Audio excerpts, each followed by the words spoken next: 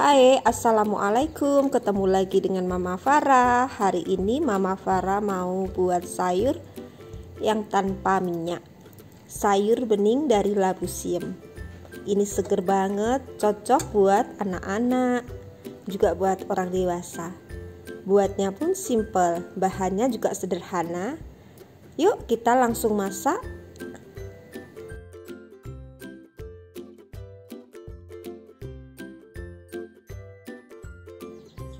Bahannya ada labu siam, wortel, jagung muda, sama daun kelor. Daun kelornya saya petiin dulu ya. Satu buah jagung muda dipotong-potong. Satu buah wortel sudah dibersihkan, dipotong-potong. Labu siam sebelum kita potong kita keluarkan dulu getahnya. Ini labunya sudah dikupas dan dicuci. Sekarang kita potong-potong sesuai selera.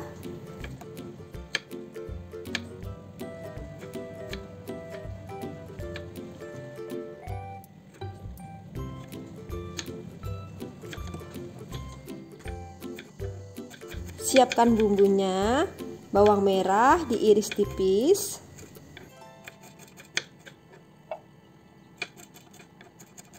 Lanjut iris tipis bawang putih. Lanjut iris tipis temu kunci. Siapkan air dalam panci kita rebus sampai mendidih setelah mendidih, masukkan bumbu-bumbu yang sudah diiris tadi dari bawang merah, bawang putih, dan temu kunci.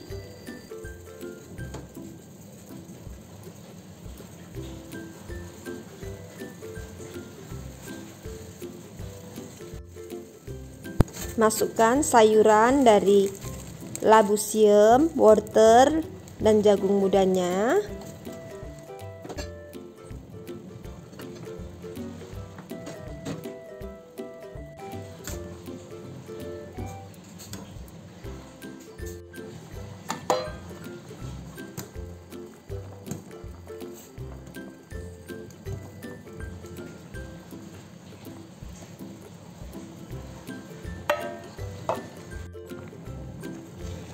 Setelah sayuran empuk, tambahkan garam 1 sendok teh, gula putih 1 sendok teh, dan kaldu bubuknya setengah sendok teh.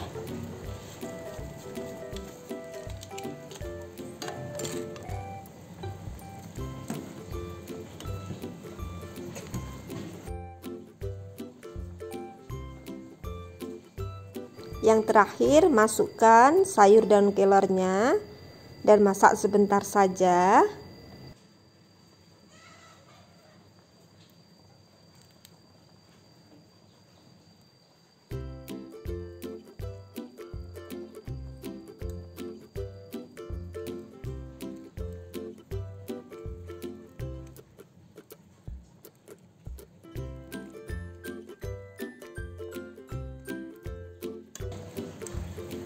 Sayur bening labu simnya sudah mateng bisa kita matikan kompor dan kita sajikan kita nikmati selagi masih hangat.